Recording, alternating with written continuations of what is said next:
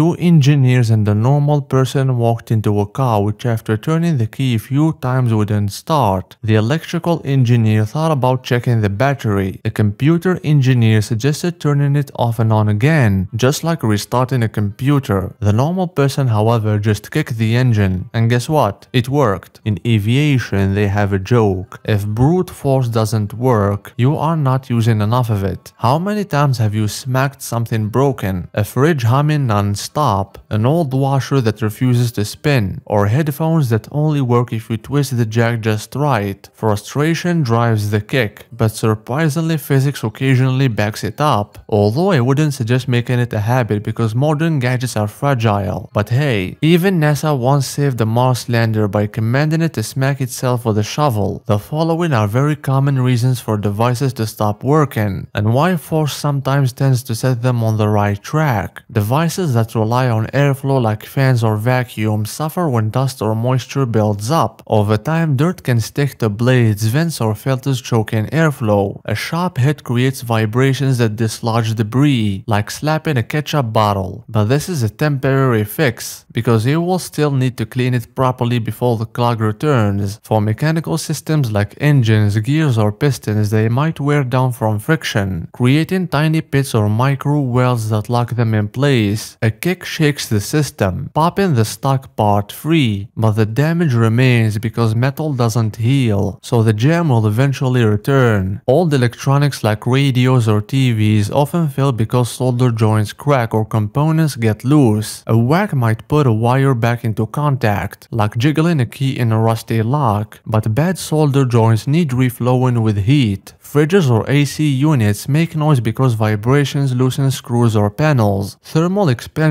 warps plastic parts, making them scrape. A kick temporarily shifts the noisy part to a quieter position. For a real fix, you could add rubber pads or tighten screws. If someday kicking your computer fixed it, that means thermal stress likely cracked a solder joint, which is common in old GPUs. The impact briefly reconnects the circuit, but it will certainly fail again and again. So back up your data and visit a repair shop. At the end, violence was never the answer, and with modern devices getting smaller along with their circuits, hitting them is becoming less and less effective with more chance of damaging them. So next time, try a gentle tap instead.